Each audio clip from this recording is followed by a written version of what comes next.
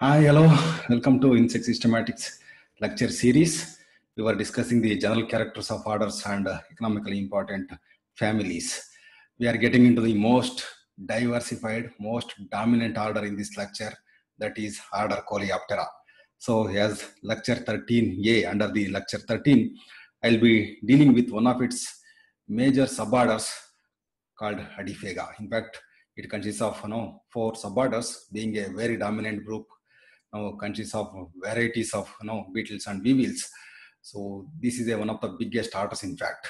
So it cannot be covered in a single lecture. So that's why I have divided this you know, order Coleoptera into two lectures. So in the first lecture, that is under 13A, I'll be talking about suborder Adephaga.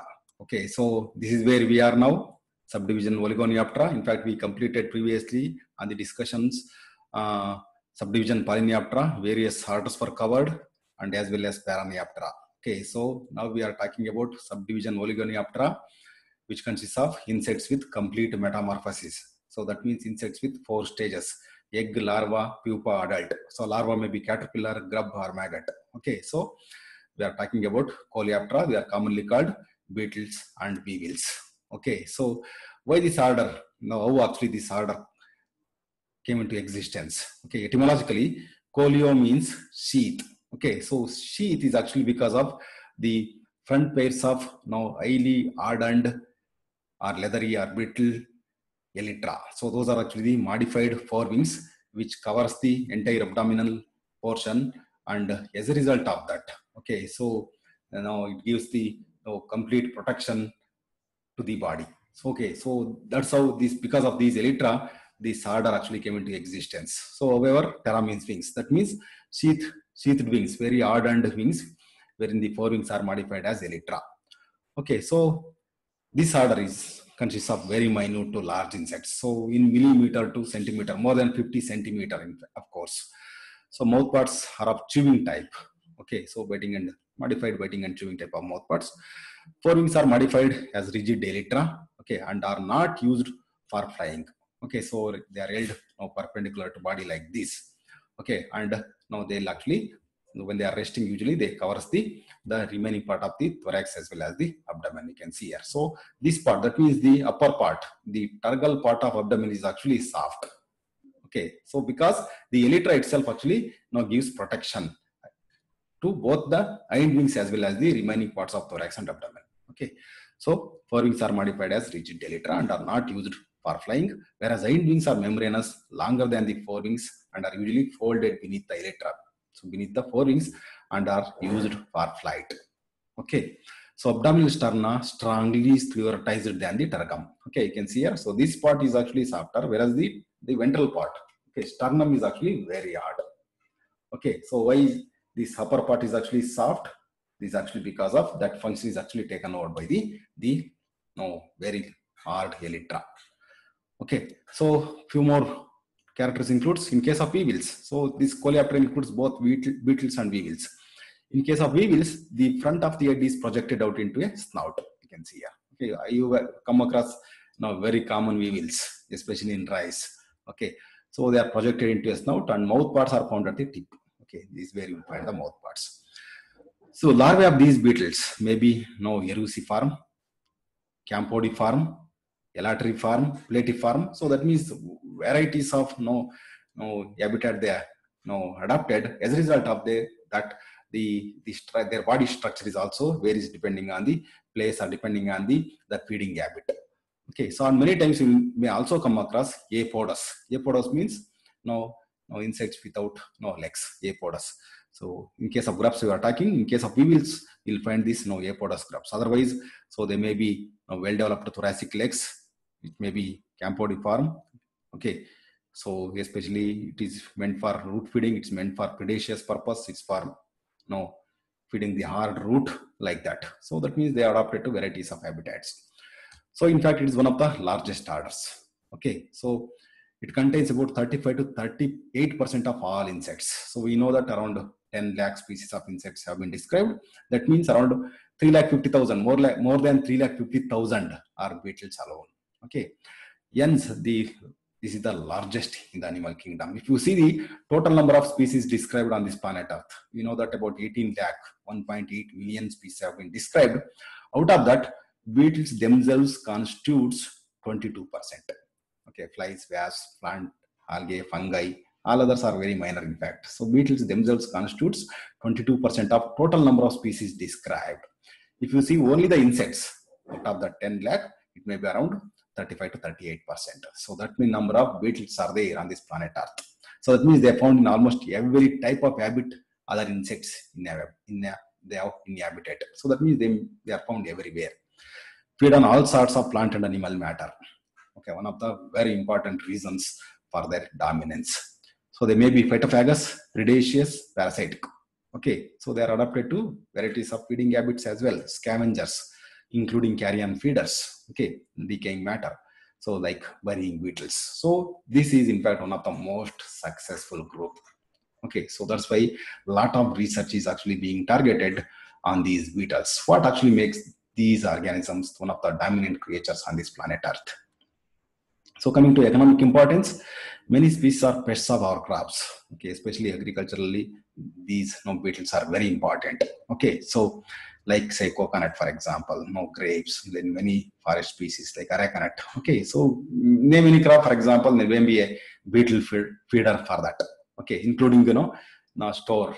Okay wherever we have you know, stored your you know, grocery items there also. So these insects actually causes a lot of problem. Garments wool fur so even, even in the museums. So they may attack the, the museum specimens which are actually preserved no, it's like that they are, in fact, they feed on varieties of foodstuffs and as a result, they become very problematic.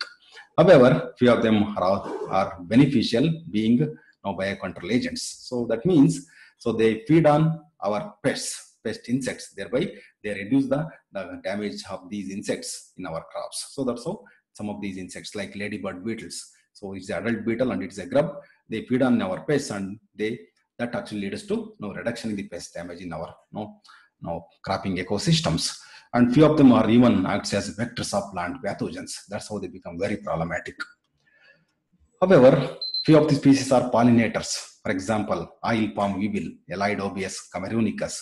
So without this, no curculionid, without this weevil, in fact, no pollination will not take place in the oil palm. That's why, so the presence of this weevil is very important for increasing the yield. So that's how it becomes beneficial. So as I was telling, few of them acts as scavengers like dung beetles. You can see here, commonly, most of you have come across this one. Why they carry this type of dung balls? In fact, they'll actually dig in the soil and you know, place the eggs in the dung ball and you know, preserve the young ones. Now they as soon as the the eggs hatches, they should get the food. With that process, in fact, okay that increases. So the soil health actually increases and also the infiltration rate of water actually increases as a result of that. The soil now quality or soil health actually improves. That is actually one of the important now, ecosystem service these insects actually provide. Coming to classification of coleoptera in fact four orders have been identified in this know, big order. Okay adephaga Polyphaga, Archostemata, and Myxophaga. So, so, these are the, some of the representatives of these four suborders. Of course, out of these four, Adephaga and Polyphaga are major.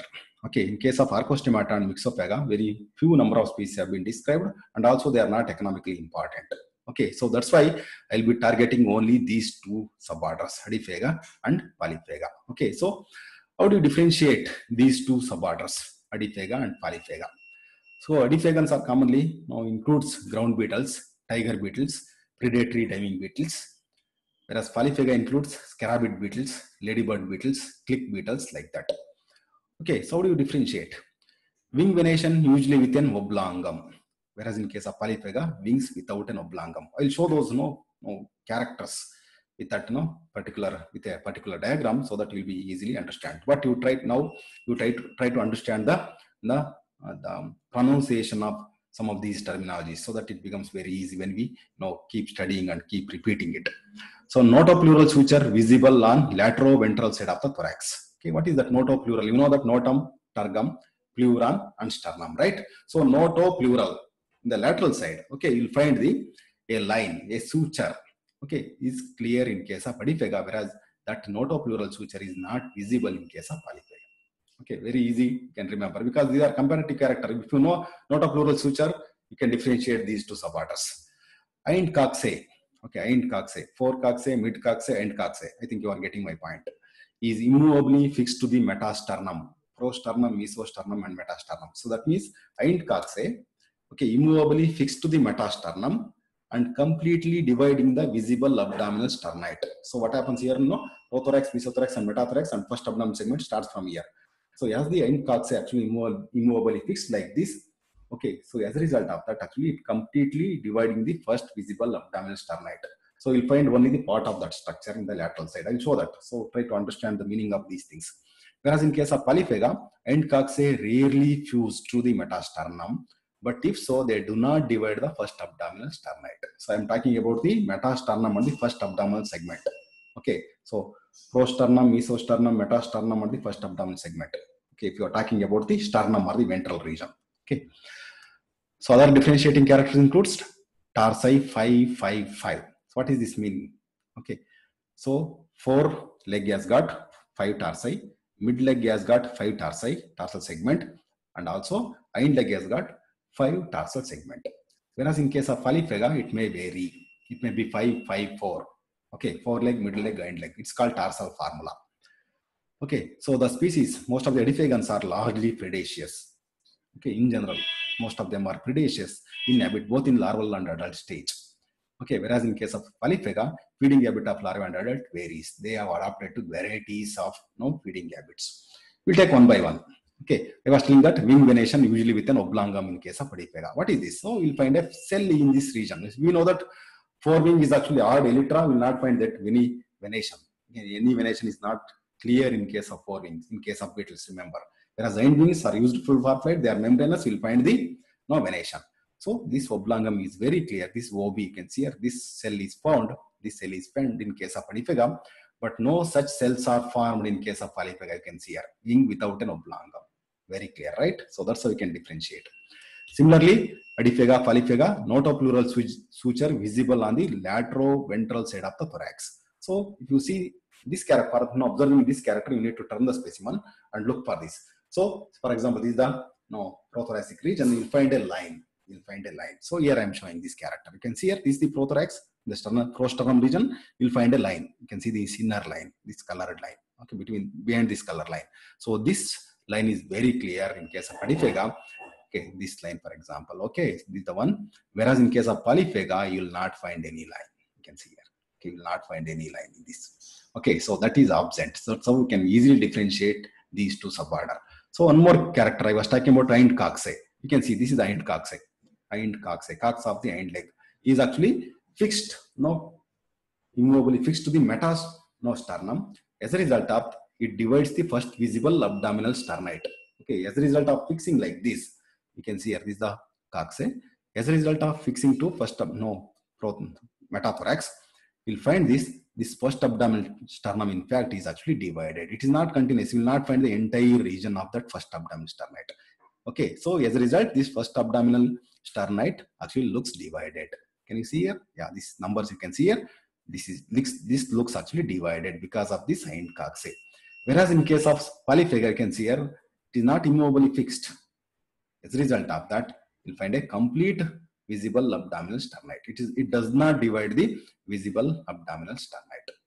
Okay, so very important characters. If you see this diagram, you can easily remember and distinguish these two you know, suborders.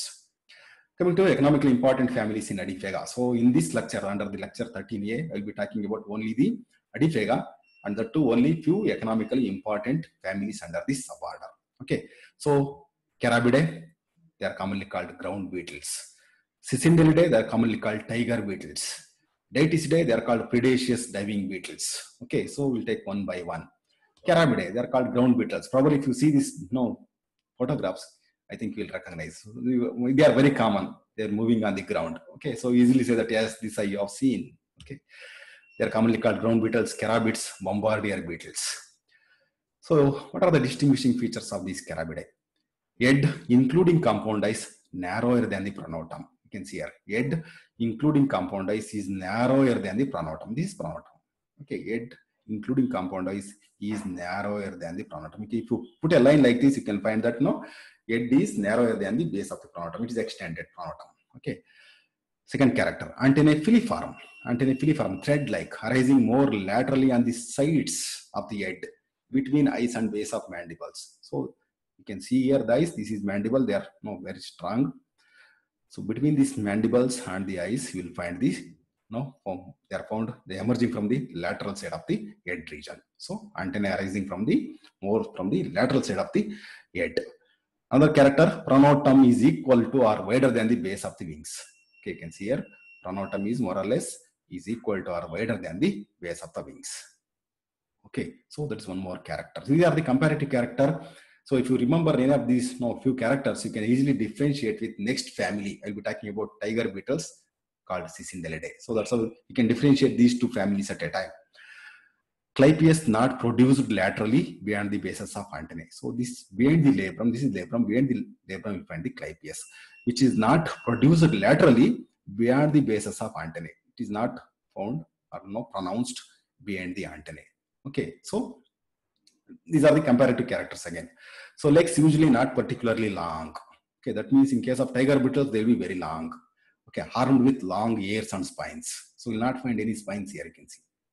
Okay, so similarly, one more additional character I'm putting here for Carabidae, ground beetles are antennae cleaner, cleaner are present. So remember, you know, we are we have studied about uh, honeybees. So not only in case of honeybees, in case of ground beetles also there will be you know, a, a notch-like structure which are called know, antennae cleaner in case of forelegs. So some species produce actually puff of smoke like secretions from anus which may irritate the skin. You see this photograph. Okay, how actually it is you know, producing the puff of smoke through the anus region. So what happens now if a predator are trying to attack these beetles, actually, so this anus can be directed towards the no, any intruder and it you know, releases the puff of smoke which contains hydrogen peroxide with a you know, loud sound.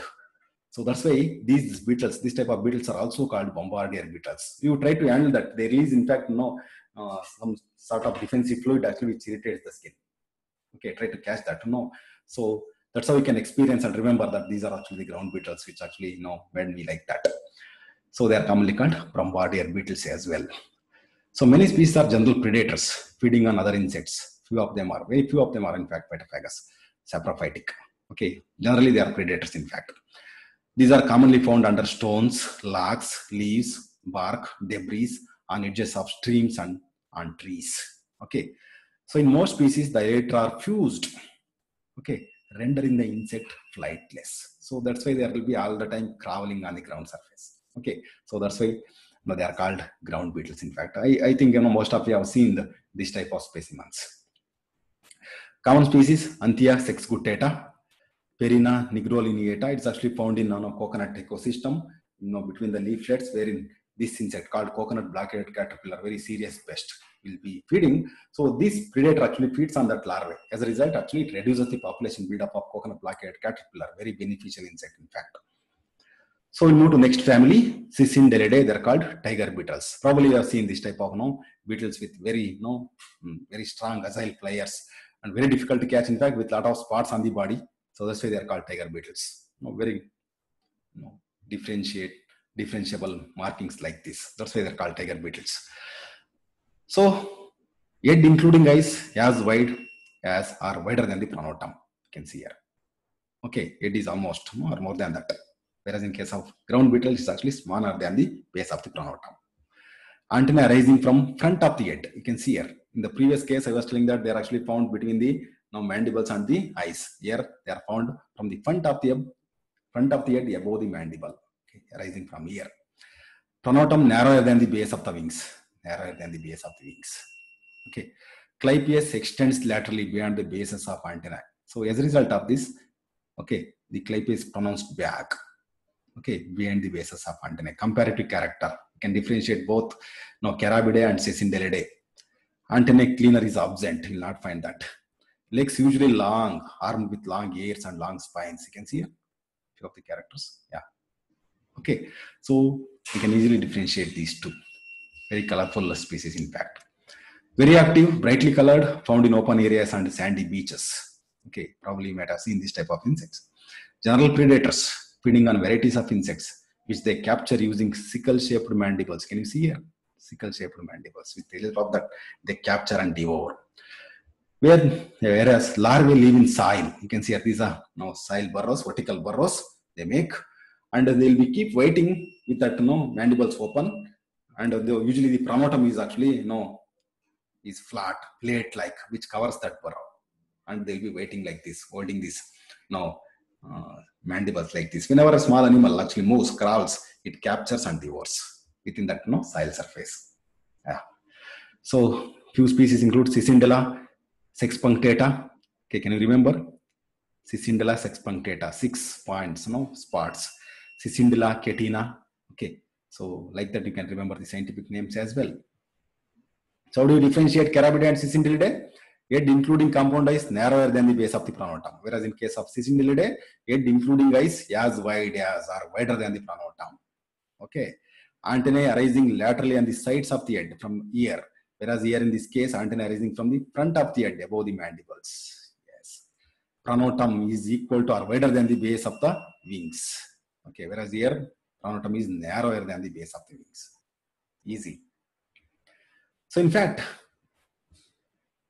there is a taxonomic confusion on the status of this family Cicindelidae, okay, especially tiger beetles. So as early as in the year 1802, Latreille actually first recognized tiger beetle as separate family. So we were using, for hundreds of years, we were using yeah, Cicindelidae only, family name. Family name Cicindelidae. If I say IDEAE, it is actually a family name. But what happened, so few actually, now few scientists actually through molecular and morphological evidences, they tried to in fact downgrade it as under the subfamily name so when I, when it is called subfamily automatically the name actually changes. It's called Cicindelinae okay. So for um, last you know, 8 10 years or so we are using as this tiger beetle as subfamily as Cicindelinae okay. Previously it was existed as family Cicindelidae but for about 8 10 years we were using it as subfamily Cicindelinae. But however, very recently, about two three months back, it was an article in Systematic Entomology. So validation of tiger beetles has distinct family. So they considered again these tiger beetles as separate family. Okay, so as a result of that, in fact, I am considering that as a separate family and we discussed. So that's how we could able to distinguish Carabidae and Cicindelidae. So, but last eight, 10 years or so, this Cicindelidae was considered as a subfamily under the family Carabidae, under the ground beetles itself. Okay, but now I have separated because of now this publication. So there is one more family called Dytiscidae. They are commonly called predaceous diving beetles. They are aquatic predaceous beetles, lives in ponds and streams. You can easily remember all these Adephagans. In fact, we are studying only three families, right? Carabidae, Cicindelidae, and Dytiscidae. All of them are actually predaceous. Antennae filiform, longer than the maxillary palpi. Okay, antennae are longer than the maxillary palpi. You can see here. Okay, hind legs flattened and fringed for swimming purpose. Okay, they are natatorial like. Hind legs are actually no are flat with lot of fringes of hairs which pushes the no water back and move forward. So here also both grubs and adults are highly predaceous. Okay, feeding on small aquatic animals including small fish. So okay, so the the larvae of these insects or grubs of this insect actually lives in aquatic ecosystem itself. So common species includes Dytiscus marginalis, Hydaticus fabricii. Okay, so these are the few species. Okay, so in this lecture 13a, we discussed order level characters of Coleoptera. It's two suborders, Adephaga and Polyphaga. In fact, there are four suborders, but uh, I'll be concentrating only on the two suborders, okay, Adephaga and Polyphaga. So in this class, I completed the discussion on the Adephaga. Suborder level characters of Coleoptera, both these you know, distinguishing characters of this Adephaga and Polyphaga. Economically important families of Adephaga, wherein we discussed Carabidae, Cicindelidae, and Dytiscidae. Okay, so these are the few visuals. I think you will easily recognize now.